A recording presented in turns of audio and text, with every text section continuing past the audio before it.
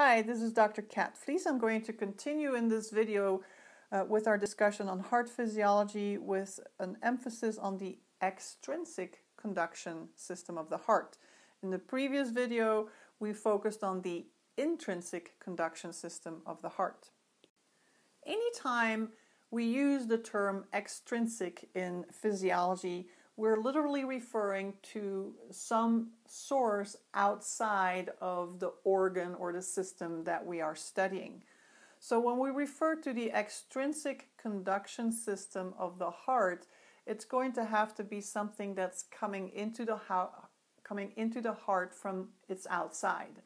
And this is where we're going to now focus on the autonomic nervous system that is both the sympathetic and the parasympathetic branches of the autonomic nervous system.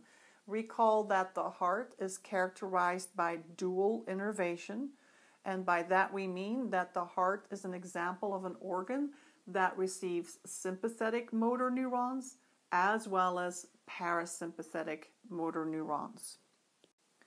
Now, what controls the sympathetic and parasympathetic motor neurons that innervate the heart in different locations, as you can see in this diagram here, are centers inside of the heart, particularly in the medulla of the heart. So we have two cardiac centers, as we call them, in the medulla of the heart. Remember, the medulla sits just inferior to the pons in the brain stem. These two centers are given names that correspond to how they impact the heart. We have the cardio-acceleratory center, so it has something to do with the acceleration of the heart rate. And then we have the cardio-inhibitory center, which has something to do with slowing down the heart rate. The cardio-acceleratory center is going to send fibers down into the spinal cord, and then from the spinal cord, sympathetic cardiac fibers are going to innervate the heart. So we see those in the purple. What is not illustrated on this diagram, which is a little bit misleading, is the fact that the sympathetic cardiac fibers actually arise from the thoracic spinal cord. Um, there aren't any sympathetic fibers that arise directly from the brain. All all uh, so sympathetic fibers actually arise from the spinal cord. So what we really see happening is that from the medulla's cardio acceleratory center, um, these fibers descend into the spinal cord they synapse then with fibers that are sympathetic fibers that leave through these sympathetic cardiac nerves to innervate the heart and then increase cardiac activity. Parasympathetic fibers do leave directly from the brain via the vagus nerves. Remember, we have uh, a total of 12 pairs of cranial nerves, and the vagus nerves are your tense nerves. Very, very important nerves that we will talk so much about in Anatomy and Physiology Part 2. The vagus nerves carries parasympathetic fibers not just to the heart but to many different structures in the body. With the help of these parasympathetic fibers that innervate the heart via the vagus nerves, we see that the cardiac activity can decrease. As a matter of fact, that's it is these parasympathetic fibers that actually keep our heart rate slow when we are at rest. And let me explain what we mean by that in the next figure. So you've learned now that the heart's contractions are due to the action potentials that are created by the pacemaker cells that then tell the contractile cells to create their own action potential, which then leads to contraction. So the pacemaker cells set the pace of depolarization. But in real life, we see that the autonomic nervous system actually controls our intrinsic conduction system. So the sympathetic and our parasympathetic fibers manipulate the pace at which depolarization occurs inside of the intrinsic conduction system. Okay, so let's say we were to sever the sympathetic and parasympathetic fibers from the heart. Let's say we remove the heart from the body, the heart, and provide it with the blood supply, oxygen, the whole bit. The heart would keep beating. After all, we have the pacemaker cells that are part of the intrinsic conduction system. But the pace at which the SA node depolarizes is going to be faster.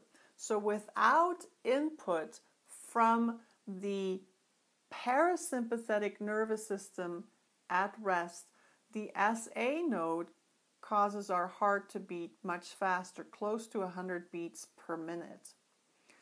The reason why our heart beats at rest around you know, a healthy heartbeat is about 70 to 75 times per minute, which would be a lot slower if you're if you're rather active and athletic. Um, but on average, that's a, a healthy heartbeat.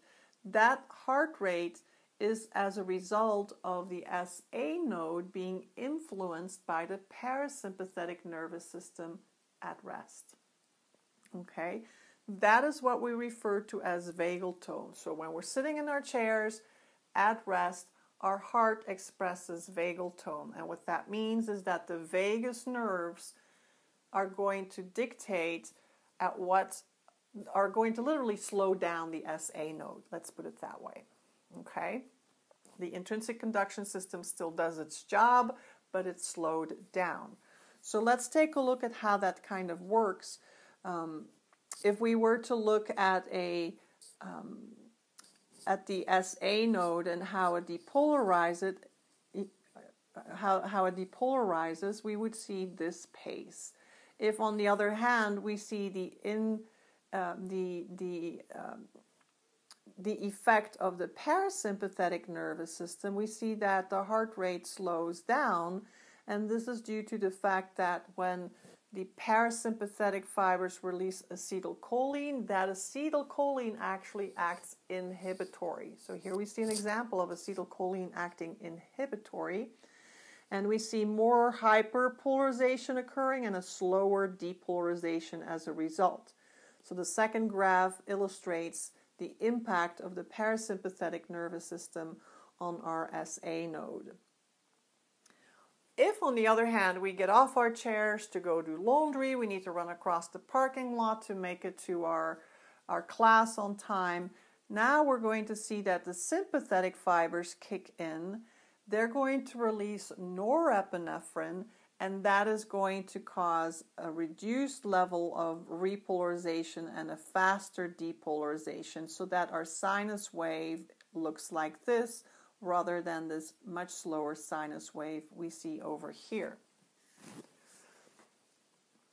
Okay, so in you know in our bodies we're never going to see that the intrinsic conduction system acts all on its own. It's always going to be affected by the sympathetic and parasympathetic nervous system. At rest, the parasympathetic nervous system predominates, and the sympathetic nervous system takes over when we start to become more active or we're stressed out, we're working out at the gym, etc., etc.